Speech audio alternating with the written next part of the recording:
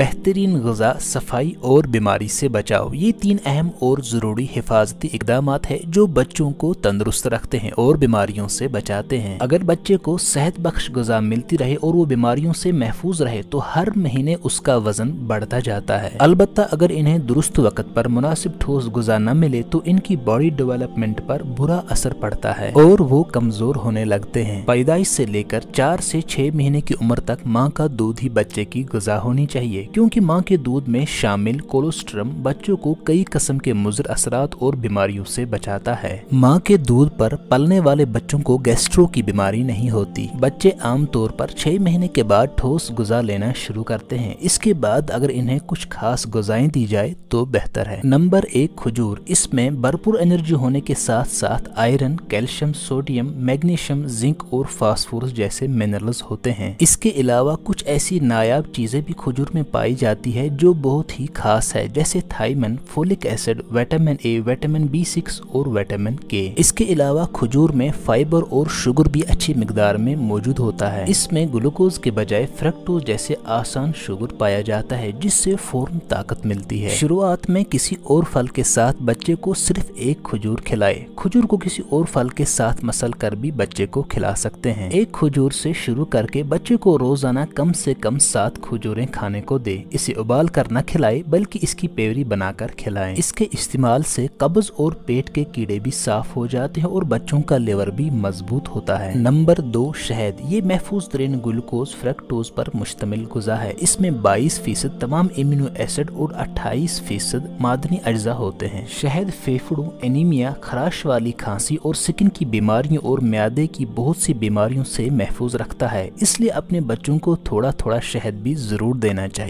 Number تین، دودھ۔ یہ بڑھتے ہوئے بچوں کی باڈی ڈیولپمنٹ میں اہم کردار ادا کرتا ہے، کیونکہ اس میں موجود کیلشیم بچوں کی ہڈیوں کو مضبوط کرنے اور بڑھانے میں مددگار ثابت ہوتا ہے۔ اگر آپ کے بچے دودھ پینا پسند نہیں کرتے، تو کھانے میں دہی اور دودھ سے تیار کی گئی مصنوعات کا ضرور استعمال کریں۔ عالمی ادارہ صحت اور طبی سائنسدانوں نے بچوں کی بہترین پرورش کے لیے دہی کو مفید ترین غذا قرار دیا ہے، کیونکہ دہی نشو نما کرنے والی غذا ہے۔ اس میں پروٹین پروٹینز ویٹامنز اور معدنی اجزاء ہوتے ہیں جو بچے کی صحت کے لیے بہت ہی مفید ہے نمبر چار، کیلا۔ اس میں پوٹیشیم میگنیشیم، سوڈیم، آئرن اور فلورائڈ پائے جاتے ہیں۔ یہ چیزیں ہڈیوں اور مسلز کے بڑے پیمانے پر معمول کی تشکیل میں حصہ ڈالتے ہوئے دوران خون کے نظام کو معمول پر لاتے ہیں اور خاص کر دماغ کے لیے فائدہ مند ہوتے ہیں۔ کیلے کا بیس فیصد حصہ نشاستہ ہوتا ہے۔ یہ بچے کے جسم میں آسانی سے جذب ہوتا ہے اور جسم میں جا کر گلوکوز میں بدل جاتا ہے، جس کی بچے کو بھی بہت ضرورت ہوتی ہے۔ اس میں کئی ویٹامن بھی پائے جاتے ہیں جو آسابی نظام، نیند، مضبوط بالوں اور سکن کے لیے ضروری ہوتے ہیں۔ کیلے سے فائبر توانائی فراہم کرتا ہے، جو ایک فعال بڑھتے ہوئے جسم کے لیے بہت ضروری ہے۔ بچوں کی غذائی ضروریات ایک عام بالغ انسان سے کافی حد تک مختلف ہوتی ہے۔ بچوں کو بنیادی طور پر غذا کے اہم اجزاء کی ضرورت ہوتی ہے، جن کی تکمیل سے ان کی نشو نما کو بہتر بنایا جا سکتا ہے۔ نمبر ایک کیلشیم، ہڈیوں اور دانتوں کی نشو نما کے لیے سب سے اہم جز ہے اور بڑھتی عمر کے بچوں کو دن بھر میں سات سو سے تیرہ سو ملی گرام کیلشیم کی ضرورت ہوتی ہے، جس کا بنیادی سورس دودھ اور انڈے کی صورت میں موجود ہوتا ہے۔ لیکن اس کے ساتھ ساتھ بچوں کے کیلشیم کی ضرورت کو ہری سبزیاں اور پھل بھی پورا کر سکتے ہیں۔ مثال کے طور پر کیلے اور سیب میں بھی کیلشیم بڑی مقدار میں موجود ہوتا ہے۔ اس کے علاوہ دالوں اور سبزیوں میں بھی۔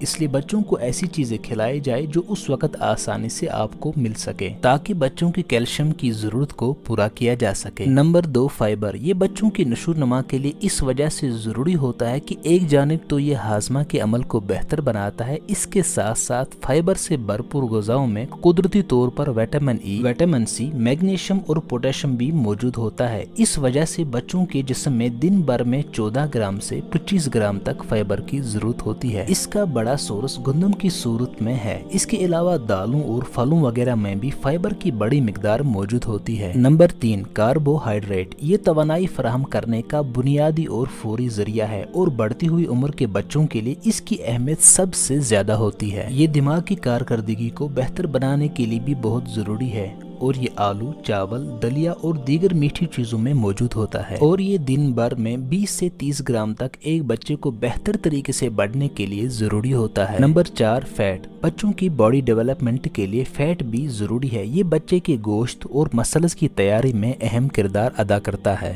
مگر اس کا زیادہ استعمال موٹاپے کی وجہ بھی بن سکتا ہے۔ اس وجہ سے جو والدین بچوں کو مہنگے فاسٹ فوڈ کھلا کر سمجھتے ہیں کہ انہوں نے بچوں کو بہترین غذا فراہم کر دی ہے، تو ان کے لیے لیے مشورہ ہے کہ بچوں کے جسم میں فیٹ کی ضرورت کو عام طور پر گھر کے پکے کھانوں سے بھی پورا کیا جا سکتا ہے۔ اس کے علاوہ دودھ اور گوشت اس کا اہم ذریعہ ہے۔ نمبر پانچ، آئرن۔ خون کی تیاری اور نئے سیلز کی تیاری کے لیے آئرن غذا کا ایک اہم جز ہے۔ اس کو حاصل کرنے کے لیے صرف گوشت پر اکتفا کرنا غیر ضروری ہے، کیونکہ یہ سبزیوں، دالوں اور کئی پھلوں سے بھی حاصل کیا جا سکتا ہے۔ نمبر چھ ویٹامنز مختلف قسم کے ویٹامنز بچوں کی نشو نما پر مختلف اثرات مرتب کرتے ہیں۔ ان ویٹامنز میں vitamin B, A, C, D اور ویٹامن ای شامل ہے، جو جو نہ صرف بچوں کے نشو نما کے لیے ضروری ہے، بلکہ ان کا استعمال ایمیون سسٹم کو بھی بہتر بناتا ہے اور ان کو موسمی سبزیوں اور پھلوں کے استعمال سے حاصل کیا جا سکتا ہے۔ نمبر سات، پروٹینز۔ نئے سیلز کی تیاری اور میٹابولزم کے عمل کو تیز کرنے کے لیے پروٹین سب سے اہم جز ہے، جس کا حصول گوشت انڈے، مونگ کی دال، مٹر اور دیگر ہری سبزیوں کے استعمال سے بھی ہوتا ہے۔ تو امید ہے کہ آپ کو یہ ویڈیو پسند آئی ہوگی۔ چینل کو سبسکرائب کر کے ویڈیو کو لائک اور شیئر کرنا نہ بھولیں۔ ملتے ہیں اگلی ویڈیو میں۔ شکریہ۔